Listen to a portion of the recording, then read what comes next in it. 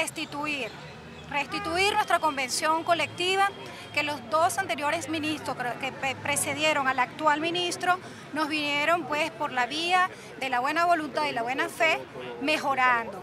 Evidentemente el, actual ministro se está valiendo de una mera formalidad que tiene que ver con que esa convención que venía mejorando las anteriores administraciones a los trabajadores no fue formalizada ante el Ministerio de Trabajo. Pero evidentemente que eso es discutible para los que saben de derecho, ¿verdad? Y si se quieren las instancias institucionales que conocen de la materia. La supremacía de la realidad está por encima de cualquier formalidad y eso es, lo que, es la lucha que nosotros estamos emprendiendo.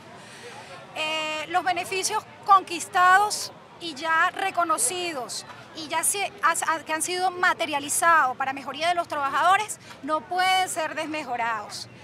El ministro actual, eh, en sus dos años que tiene de gestión, de un solo plumazo desconoció esa convención y evidentemente produjo una desmejoría.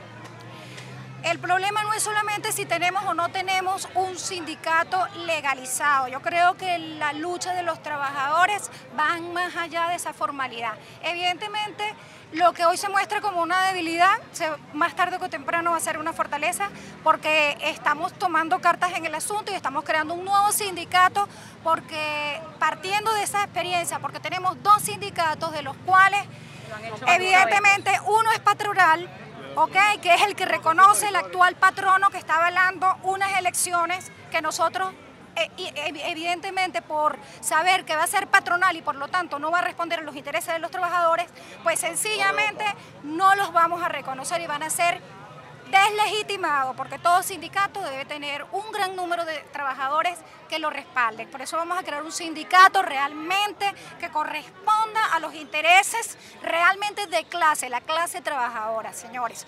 Lo otro, eh, eso no quiere decir que se siga desconociendo la convención que hasta ahora nos venía asistiendo. Nosotros estamos abogando desde estos espacios y desde hace rato y hemos conciliado, hemos ido a mesa de negociación, hemos agotado todas las vías eh, conciliatorias internas y de verdad que hoy nos vemos en la, necesidad de sacar este problema a la calle. El contrato fue firmado por el, te voy a tener que decir nombre, el ministro Eduardo Álvarez y todas las autoridades que en el año 2004 dirigían la institución. Eso se levantó. ¿Qué es lo que él alega? Que no fue formalizado, ¿verdad? Eso es lo que alega ante el Ministerio de Trabajo.